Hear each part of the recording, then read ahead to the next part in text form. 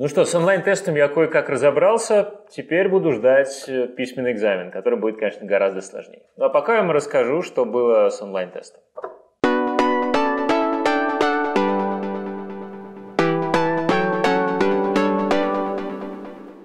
Всем привет и сразу спасибо большое за большое количество комментариев, которые я получил по предыдущему видео. Я, если честно, даже не ожидал, что всем вдруг так будет интересно, что кто-то решил поступать в шат и решил об этом рассказать.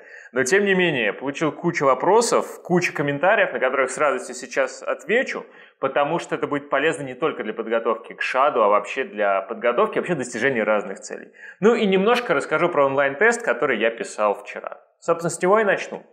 Небольшой бэкграунд. Э, собственно, я готовился последнюю неделю не столько к тесту, сколько к письменному экзамену, потому что он гораздо сложнее. И письменный экзамен я решил готовить по принципу, по которому мы готовим людей к PST.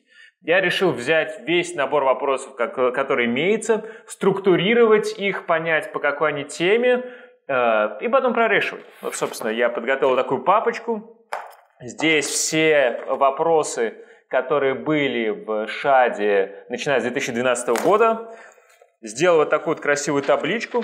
А табличка зачем нужна? Табличка нужна для того, чтобы понять, по какой теме какой вопрос, например, это линал или матан или тервер, каких вопросов сколько и где у меня слабые места. То есть, если я какой-то вопрос не могу решить, я, соответственно, понимаю, о, вот эта тема, которая мне дается хуже всего, там, мне нужно ее подтянуть. А вот это, наоборот, у меня хорошо получается тема. Следовательно, мне нужно эти задачи на экзамене решать.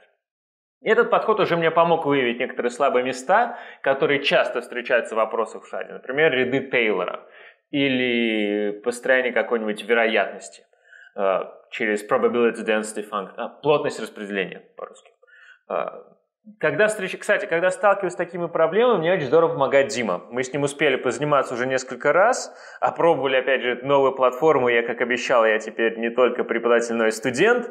Э, и он несколько мне очень крутых вещей рассказал. Например, как э, рассчитать детерминант через общую формулу. Я как-то никогда им не пользовался, пользовался всегда разложениями. И тут он мне очень важную тему рассказал, которую буду применять, которая часто спрашивается в вопросах.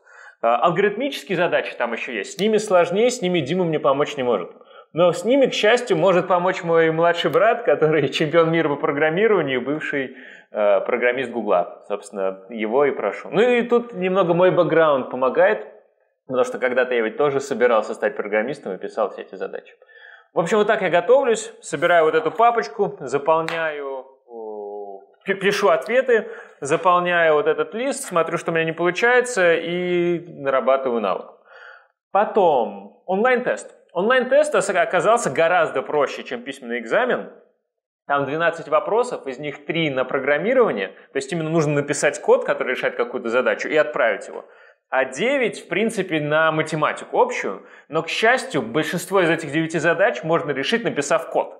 Например, Вместо того, чтобы считать предел аналитически, можно взять его и посчитать количественно, посчитав э, значение элементов последовательности, значение миллионного элемента в последовательности.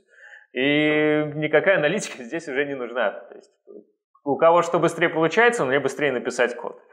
Поэтому я успел решить 11 задач, в том числе две на программирование. Одну не успел, у меня осталось буквально 5 минут, и уже ничего не успел сделать. Но правда я решал не 5 часов, которые отведены на этот э, экзамен, а всего, э, всего 4 часа, где-то 4.20, наверное, потому что еще 40 минут занимался э, техподдержкой нашей новой платформы. Там не все работало, но, в общем, пришлось немножко вовлечься, и все заработало. Я надеюсь, что дальше будет еще лучше.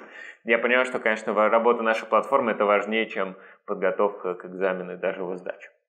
Но тем не менее, 11 задач я сдал, сдал, написал про две на программирование, я точно знаю, что они правильные, потому что сразу ответ дается. На математический ответ не дается. И результат будет 15 мая. Собственно, будем ждать, посмотрим, как результаты. А, а пока буду дальше готовиться, дальше прорешивать эти же задачи письменного экзамена, потому что письменный экзамен будет гораздо сложнее, чем онлайн-экзамен. Я прям к этому уже готовлюсь. Собственно, вот что касается онлайн-теста.